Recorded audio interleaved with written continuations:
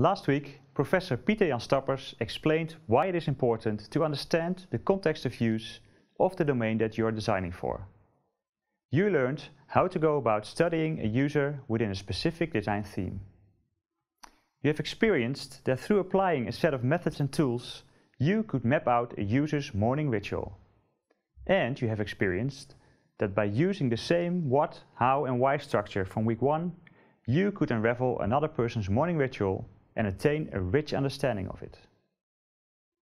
So, week 2 was all about understanding another person's morning ritual to gain design insights. Those insights will inspire your design process along the way.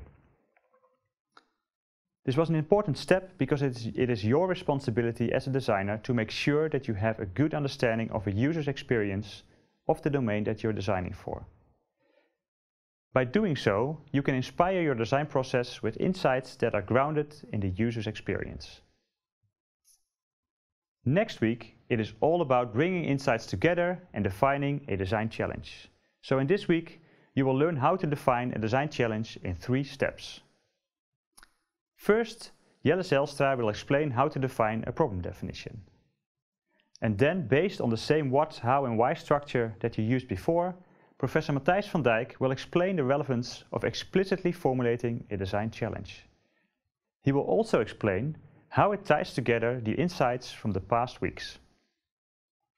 He will tell you about the importance of taking decisions about what you see as the main effect that you want to realize within your design.